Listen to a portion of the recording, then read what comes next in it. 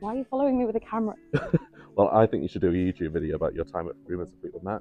What would I even say? I'm so awkward with a camera. I don't know. People want to know about the gig though, what you do. Well, I guess I would say I'm in a tribute band called Rumours of Fleetwood Mac, and I'm doing the Christine McVie role. Oh, awesome. How many dates are you doing? Where's it going? Well, at the moment we're in the UK. We've got 64 dates booked, and then we're doing Europe and also North America. That sounds amazing. You should do a video about it 100%. People would love to watch it. I'm really bad with cameras. I'm so awkward. I wouldn't even know what to say, so probably not. Mm. How's the meal? You know, it's so good having hot food again. It's been a while. Obviously, we've been on the tour bus, so the food's been kind of me competing to get a salad with 15 other people on this bus. 15 people, that is a lot. Yeah. So, who else is on there with you then? Well, we have stage managers, we have tour managers, we have bus driver Tim, we have light designers, we have the band, we have everybody you can imagine on one bus. So That sounds like a right laugh though. What do you do during the day though? Like, what do you do before the gig?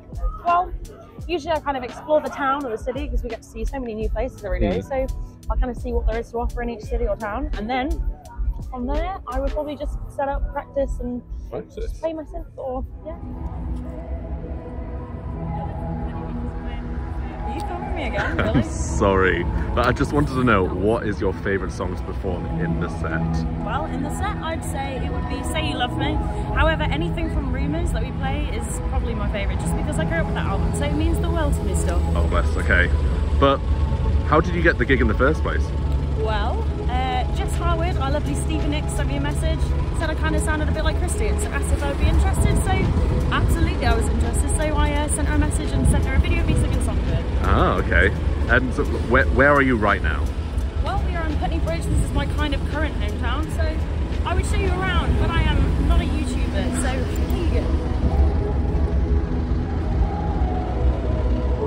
So uh, people have asked if I'd do a Q&A, so the answer to that was yes, I will, in an awkward way. So that was my lovely Q&A, and I hope you enjoyed. And uh, yeah, I'm going to upload some more music pretty soon, so if there's anything you want to see, do let me know. As Alex can film the whole thing. Bye.